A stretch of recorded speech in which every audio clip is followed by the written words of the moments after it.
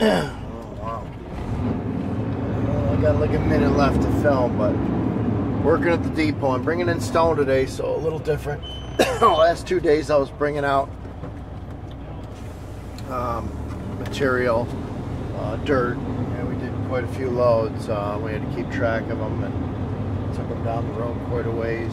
Uh, it was almost an hour round trip, but here I'm bringing in stone. This is load number seven, I think, today.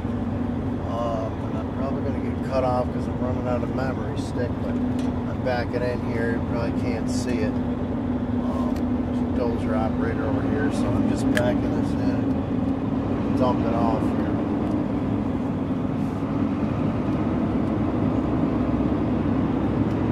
He's of switched me over to stone today, so